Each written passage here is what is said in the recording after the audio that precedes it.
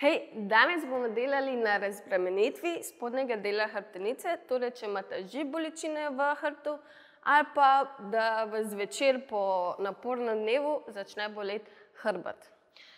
Pa se bomo najprej ulegli na tla. Počasi sprostiš telo, stegneš noge in pokrčaš najprej eno nogo proti svojemu telesu.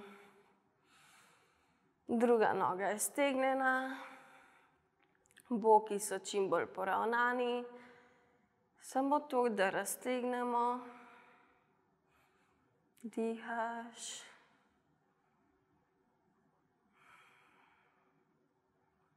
Še majčkeno.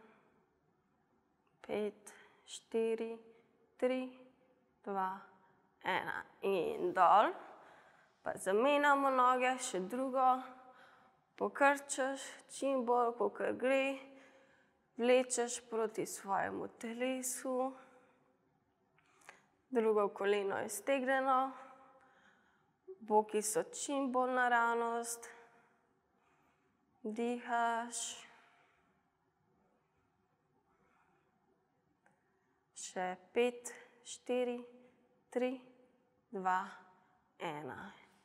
Okej, pa pokrčimo noge.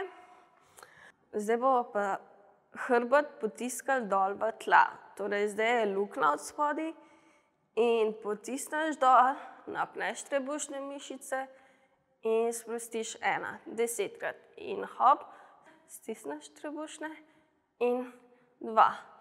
Dol, potisneš v tla hrbet, sprostiš tri.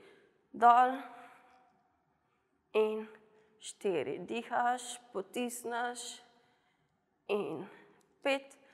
Dol in šest.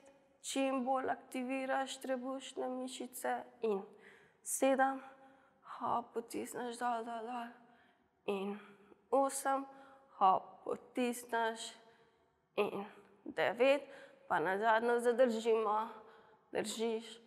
Tri, štiri, pet, šest. Dihaš. Osem, devet in sprostiš. Okej, pa damo zdaj prvo nogo. Torej jaz sem zdaj začela z levo.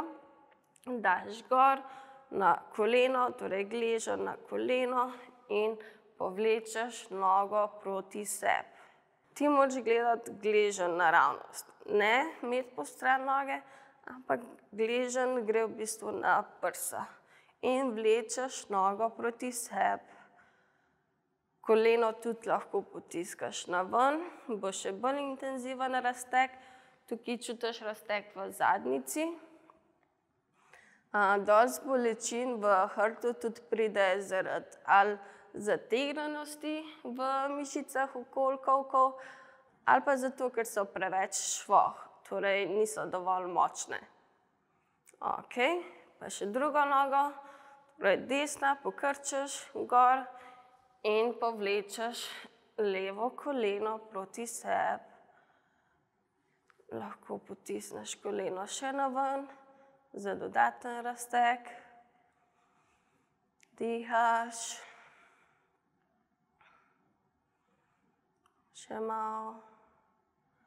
Tukaj moraš res tukaj čutiti razteg. Cel ta del. Je ful prijeten razteg, vsaj meni. Okej, pa sprostimo. Okej, pa damo noge spet na tla, pokrčimo. Kolena so skupaj in bomo dvigovali boke od tal. Zdaj lahko daš roke za glavo in najprej potisneš hrbet v tla in zdaj dvigneš boke čim višje, stisneš zadnjico in zadnjo ložo in počasi dol. Ena. Sprostiš in spet potisneš v tla, dvigneš, dvigneš, dvigneš, skupaj noge stiskaš kolena in dol. Dva. In potisneš dol, gor, gor, skupaj kolena in počasi dol. Tri. In dol hrbet, dvigneš, dvigneš in dol. Štiri sprostiš in hrbet dol, dvigneš in dol. sprostiš pet, še pet, dol potisneš, dvigneš in dol. Sprostiš šest, dol, dvigneš in počasi. Sprosti sedem, hop hrbet dol, dvigneš skupaj kolena in dol. Osem, še dva dol hrbet, dvigneš in dol. Devet, pa zadnjič dol potisneš hrbet, gor, poki in počasi. Deset. Okej. Na kolena, hop, se usedeš na gležnje, narediš grbico in raztegneš hrbet. Lahko malo zebaš iz ene na drugo stran.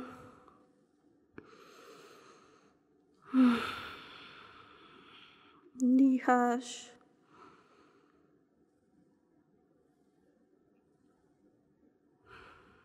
Še majčkeno.